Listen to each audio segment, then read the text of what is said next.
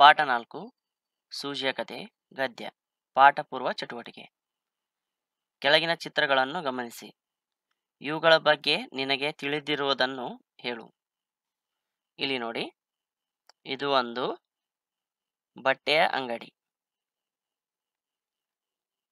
ಇಲ್ಲಿ ಬಣ್ಣ ಬಣ್ಣದ ಬಟ್ಟೆಗಳು ಸಿಗುತ್ತವೆ ಅಂಗಡಿ ಒಳಗೆ ಹೋದ ನಂತರ ವ್ಯಾಪಾರಸ್ಥ ನಮಗೆ ಬಣ್ಣ ಬಣ್ಣದ ಬಟ್ಟೆಗಳನ್ನು ತೋರಿಸುತ್ತಾನೆ. ನಾವು ನಮಗೆ ಇಷ್ಟವಾದ ಬಟ್ಟೆಯನ್ನು, ದುಡ್ಡು ಅಥವಾ ಕಾಸು ಕೊಟ್ಟು ಖರೀದಿಸಬಹುದು. ಆ ಬಟ್ಟೆಯಿಂದ ನಾವು ಒಳ್ಳೆಯ ಉಡುಪುಗಳನ್ನು ಹೊಲಿಸಿ ಕೊಳ್ಳುತ್ತೇವೆ ದರ್ಜಿ. ಈ ಚಿತ್ರವನ್ನು ನೋಡಿ.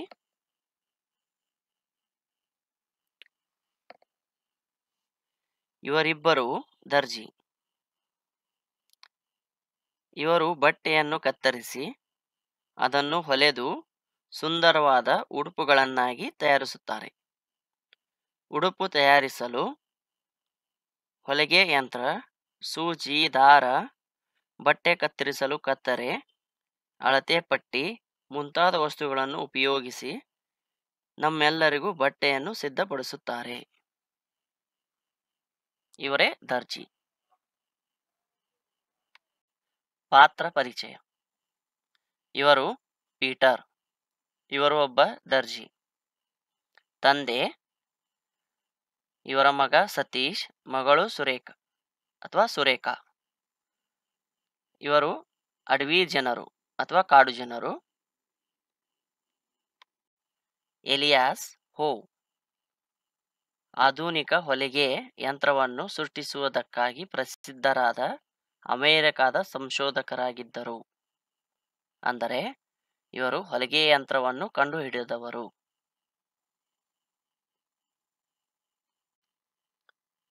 ಬನ್ನಿ ಈಗ ನಾವು ಗದ್ಯವನ್ನು ಓದೋಣ.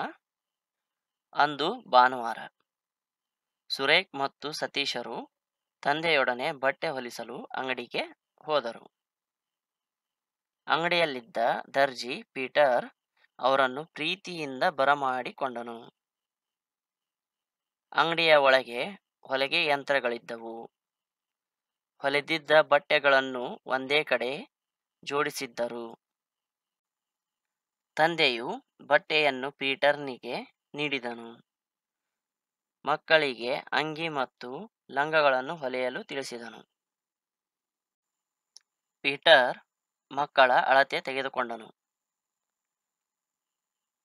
ಅಗಲವಾದ ಈ ಬಟ್ಟೆ ಹೇಗೆ ಅಂಗಿ ಮತ್ತು ಲಂಗಗಳಾಗುತ್ತವೆ ಎಂಬ ಪ್ರಶ್ನೆ ಮಕ್ಕಳನ್ನು ಕಾಡಿತು.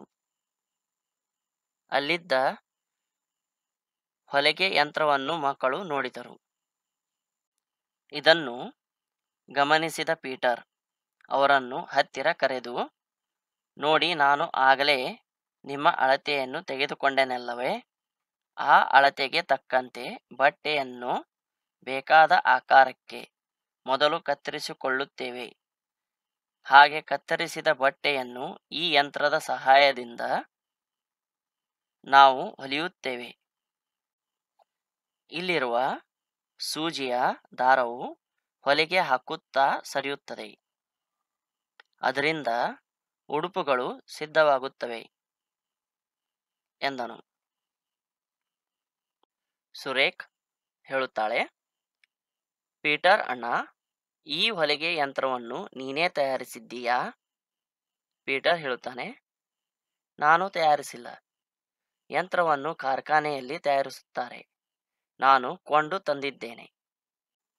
ತಂದೆ ಹೇಳುತ್ತಾರೆ, ಸುರೇಖ್, ಹೊಲಿಗೆ ಯಂತ್ರದ ಬಗ್ಗೆ ಒಳ್ಳೆಯ ಪ್ರಶ್ನೆ ಕೇಳಿದೆ. ಈ ಹೊಲೆಯುವ ಯಂತ್ರಕ್ಕೆ ಮುಖ್ಯವಾದ ಸಾಧನವಿದೆ. ಅದೇ ಸೂಜಿ. ಈ ಸೂಜಿಗೊಂದು ಕತೆ ಇದೆ ಸತೀಶ್ ಹೇಳುತ್ತಾನೆ. ಹೌದಪ್ಪ, ಹಾಗಾದರೆ ಸೂಜೆ ಕತೆ ಹೇಳು. ತಂದೆ ಹೇಳುತ್ತಾರೆ, ಈಗ ಮನೆಗೆ ಹೋಗೋಣ, ಮನೆಯಲ್ಲಿ ಕತೆ ಹೇಳುತ್ತೇನೆ. ಮೂರ್ವರು ಪೀಟರ್ನಿಗೆ ವಂದಿಸಿ ಮನೆಗೆ ಹೊರಟರು. ಮನೆ ತಲುಪಿದ ನಂತರ ತಂದೆ ಮಕ್ಕಳಿಗೆ ಕತೆ ಹೇಳಲು ಆರಂಭಿಸಿದರು. ಬಹಳ ವರ್ಷಗಳ ಹಿಂದೆ ಎಲೀಸ್ ಹೋವ್ ಎಂಬ ವ್ಯಕ್ತಿ ಇದ್ದನು. ಆತ ಬಟ್ಟೆ ಹೊಲೆಯುವ ಯಂತ್ರವನ್ನು ಕಂಡು ಹಿಡಿದನು. ಗಿಡದ ಮುಳ್ಳುಗಳನ್ನು ಆಧಾರವಾಗಿಟ್ಟುಕೊಂಡು ಸೂಜಿಯನ್ನು ಮಾಡಿದನು. ಆದರೆ ಆ ಸೂಜಿಯ ತುದಿಗೆ ದಾರ ಸೇರಿಸುವುದು ಹೇಗೆ ಎಂಬುದು ತಿಳಿಯಲಿಲ್ಲ. ಹಗಲು ರಾತ್ರಿ ಅವನಿಗೆ ಅದೇ ಚಿಂತೆಯಾಯಿತು. ಮಲಗುವಾಗಲೂ ಆ ಯೋಚನೆಯಲ್ಲೇ ಮಲಗುತ್ತಿದ್ದನು. ಒಂದು ರಾತ್ರಿ ಅವನು ಕನಸೊಂದನ್ನು ಕಂಡನು. ಅಡವಿಯ ಜನರು ತಮ್ಮ ಬರ್ಜಿಯನ್ನು ಬೀಸುತ್ತಿದ್ದರು. ಆ ಬರ್ಜಿಯ ಹಿಂದಿನ ತುದಿಯಲ್ಲಿ ಒಂದು ರಂಧ್ರವಿತ್ತು. ಆ ರಂಧ್ರಕ್ಕೆ ತೊಗಟೆಯ ದಾರವನ್ನು ಪೋಣಿಸಲಾಗಿತ್ತು. ಆ ರಂಧ್ರದಲ್ಲಿ ಪೋಣಿಸಿದ ದಾರವನ್ನು ಕಂಡು ಕೂಡಲೇ ಅವನಿಗೆ ಎಚ್ಚರವಾಯಿತು. ನೇರವಾಗಿ ತನ್ನ ಪ್ರಯೋಗಶಾಲೆಗೆ ಹೋದನು. ತಾನು ಕನಸಿನಲ್ಲಿ ಕಂಡಂತೆ ಸೂಜಿಯ ಚೂಪಾದ ತುದಿಗೆ ಒಂದು ತೂತು ಹಾಕಿದನು. ಅದಕ್ಕೆ ದಾರ ಪೋಣಿಸಿ ಹೊಲೆಯಲು ತೊಡಗಿದನು. ಆ ಪ್ರಯತ್ನದ ಫಲವಾಗಿ ಬಟ್ಟೆಯ ಮೇಲೆ ಹೊಲೆಗೆ ಬೀಳಲಾರಂಭಿಸಿತು. ಎಲಿಯಸ್ ಹೋನ ಶ್ರಮ ಮತ್ತು ಬುದ್ಧಿಯ ಫಲವೇ ಯಂತ್ರದ ಸೂಜಿ. ಅದಕ್ಕಾಗಿ ನಾವು ಆತನ ಉಪಕಾರ ನೆನೆಯಬೇಕು. ಎಲಿಯಸ್ನ ಹೆಸರು ಇಂದು ಕೇಳಿಬರುತ್ತಿಲ್ಲ. ಆದರೂ ಆತ ಕಂಡುಹಿಡಿದ ಸೂಜಿಯು ನಮ್ಮೆಲ್ಲರ ಸೇವೆ ಮಾಡುತ್ತಿದೆ. ನೋಡಿ ಮಕ್ಕಳೇ, ನಾವು ಇಲ್ಲದೆ ಹೋದರೂ ನಾವು ಮಾಡಿದ ಒಳ್ಳೆಯ ಕಾರ್ಯ ಉಪಯೋಗಕ್ಕೆ ಬರುತ್ತದೆ. ಎಂದರು. ಅಷ್ಟರಲ್ಲಿ ಅಮ್ಮ ಎಲ್ಲರನ್ನು ಊಟಕ್ಕೆ ಕರೆದಳು. ಮಕ್ಕಳು ಎಲಿಯಸ್ ಹೋನನ್ನು ನೆನೆಯುತ್ತಾ ಖುಷಿಯಿಂದ ಊಟಕ್ಕೆ ಕುಳಿತರು. ಒಳ್ಳೆಯ ಕೆಲಸ, ಸದಾ ಜನೋಪಯೋಗಿ. ಓದಿದ ಪದಗಳು. ಇವುಗಳನ್ನು ಸ್ಪಷ್ಟವಾಗಿ ಓದಿ. ದರ್ಜಿ, ಕುತೂಹಲ ಆಕಾರ, ತುಂಡು, ಯಂತ್ರ, ಯೋಚನೆ, ಅಳತೆ, ತುದಿ, ಕಾರ್ಖಾನೆ, ಅಡವಿ ಬರ್ಜಿ ಪ್ರಯೋಗಶಾಲೆ, ರಂಧ್ರ, ಫಲ, ಓಣಿಸು, ತೊಗಟೆ, ಶ್ರಮ, ಬುದ್ಧಿ, ಉಪಕಾರ ಕಾರ್ಯ, ಪ್ರಯತ್ನ, ಕತ್ತರಿಸು, ಕನಸು, ಖುಷಿ. ಪದಗಳ ಅರ್ಥ. ಅಳತೆ. ಪ್ರಮಾಣ. ಪರಿಮಿತಿ. ಶ್ರಮ. ದನಿವು. ಅಡವಿ. ಕಾಡು. ಗಮನಿಸಿ ತಿಳಿಯಿರಿ. ಯಂತ್ರ. ಗಾಲಿ ಕೀಳುಗಳ ಜೋಡಣೆಯಿಂದ ಕೆಲಸ ಮಾಡುವ ಸಾಧನ. ಈ ಪಾಠದಲ್ಲಿ ಯಂತ್ರ ಅಂದರೆ ಬಟ್ಟೆ ಹೊಲೆಯುವ ಯಂತ್ರ. ಪ್ರಯೋಗಶಾಲೆ. ತತ್ವಗಳ ನಿಜಾಂಶವನ್ನು ಪ್ರಯೋಗ ಮಾಡಿ ತಿಳಿಯುವ ಸಲಕರಣೆಗಳಿರುವ ಕೊಠಡಿ. ಮತ್ತು ಈ ಪಾಠದ ಪ್ರಕಾರ ಪ್ರಯೋಗಶಾಲೆ ಎಂದರೆ ಬಟ್ಟೆ ಹೊಲೆಯುವ ಯಂತ್ರವನ್ನು ಕಂಡುಹಿಡಿಯುತ್ತಿರುವ ಜಗ. ಅದೇ ಪ್ರಯೋಗಶಾಲೆ. ಈ ಪ್ರಶ್ನೆಗಳಿಗೆ ಉತ್ತರ ಹೇಳಿ. ಒಂದು, ಮಕ್ಕಳನ್ನು ಯಾವ ಪ್ರಶ್ನೆ ಕಾಡಿತು? ಉತ್ತರ, ಅಗಲವಾದ ಬಟ್ಟೆ ಹೇಗೆ ಅಂಗಿ ಮತ್ತು ಲಂಗಗಳಾಗುತ್ತವೆ? ಪ್ರಶ್ನೆ ಮಕ್ಕಳನ್ನು ಕಾಡಿತು. ಎರಡು ಹೊಲೆಯುವ ಯಂತ್ರಕ್ಕೆ ಮುಖ್ಯವಾದ ಸಾಧನ ಯಾವುದು? ಹೊಲೆಯುವ ಯಂತ್ರಕ್ಕೆ ಮುಖ್ಯವಾದ ಸಾಧನ ಸೂಜಿ. ಮೂರು, ಅಡವಿಯ ಜನರು ಏನನ್ನು ಬೀಸುತ್ತಿದ್ದರು? ಅಡವಿಯ ಜನರು ಬರ್ಜಿಯನ್ನು ಬೀಸುತ್ತಿದ್ದರು. ಈ ಪ್ರಶ್ನೆಗಳಿಗೆ ಒಂದು ವಾಕ್ಯದಲ್ಲಿ ಉತ್ತರ ಬರೆಯಿರಿ. ಒಂದು, ತಂದೆಯೊಡನೆ ಮಕ್ಕಳು ಎಲ್ಲಿಗೆ ಹೋದರು? ತಂದೆಯೊಡನೆ ಮಕ್ಕಳು ಬಟ್ಟೆ ಹೊಲಿಸಲು ಅಂಗಡಿಗೆ ಹೋದರು. ಎರಡು, ಬಟ್ಟೆಯನ್ನು ಹೊಲಿಯಲು ಯಾರಿಗೆ ಕೊಟ್ಟರು? ಬಟ್ಟೆಯನ್ನು ಹೊಲಿಯಲು ಪೀಟರ್ಗೆ ಕೊಟ್ಟರು. ಮೂರು, ಬಟ್ಟೆ ಹೊಲಿಯುವ ಯಂತ್ರವನ್ನು ಯಾರು ಕಂಡುಹಿಡಿದರು? ಬಟ್ಟೆ ಹೊಲಿಯುವ ಯಂತ್ರವನ್ನು ಎಲಿಯಸ್ ಹೋ ಕಂಡುಹಿಡಿದರು. ಎಲಿಯಸ್ ಹೋ ಮಲಗಿದ್ದಾಗ ಏನು ಕಂಡನು? ಎಲಿಯಸ್ ಹೋ ಮಲಗಿದ್ದಾಗ ಕನಸು ಕಂಡನು. ಖಾಲಿ ಬಿಟ್ಟಿರುವ ಜಾಗಗಳಲ್ಲಿ ಸರಿಯಾದ ಪದ ತುಂಬಿ. ಒಂದು, ಸೂಜಿಯ ತುದಿಗೆ ಡ್ಯಾಶ್ ಸೇರಿಸುವುದು ಹೇಗೆ ಎಂಬುದು ತಿಳಿಯಲಿಲ್ಲ. ಸೂಜಿಯ ತುದಿಗೆ ದಾರ ಸೇರಿಸುವುದು ಹೇಗೆ ಎಂಬುದು ತಿಳಿಯಲಿಲ್ಲ. ಎರಡು ಆ ರಂಧ್ರಕ್ಕೆ ಡ್ಯಾಶ್ ದಾರವನ್ನು ಪೋಣಿಸಲಾಗಿತ್ತು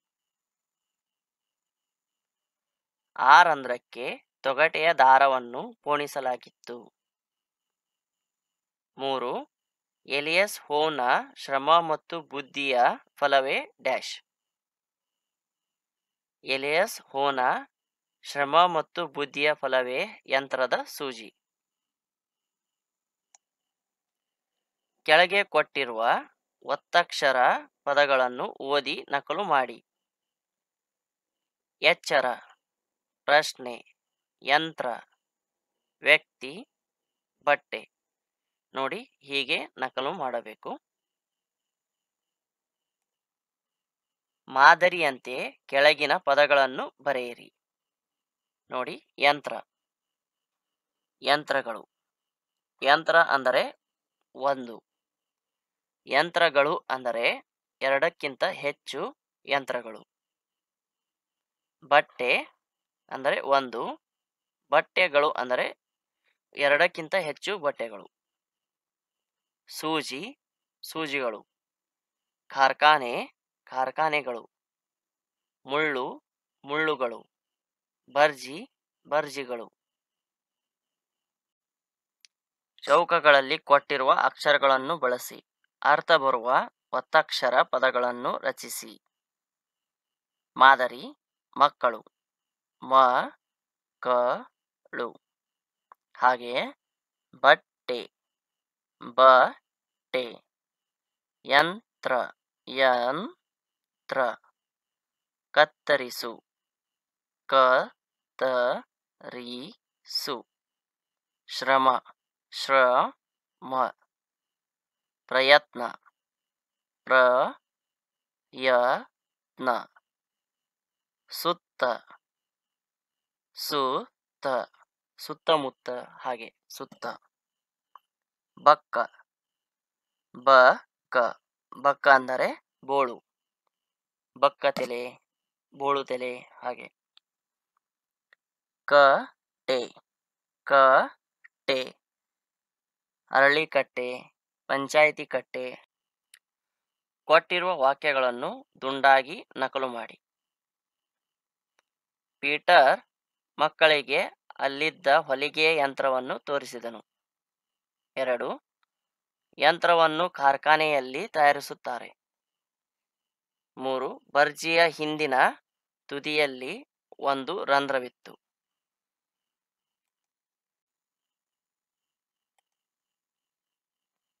ನಾಲ್ಕು. ಹೊಲೆಯುವ ಯಂತ್ರಕ್ಕೆ ಮುಖ್ಯವಾದ ಸಾಧನವೇ ಸೂಜಿ. ಐದು. ಎಲಿಯಸ್ ಹೋನ ಶ್ರಮ ಮತ್ತು ಬುದ್ಧಿಯ ಫಲವೇ ಯಂತ್ರದ ಸೂಜಿ.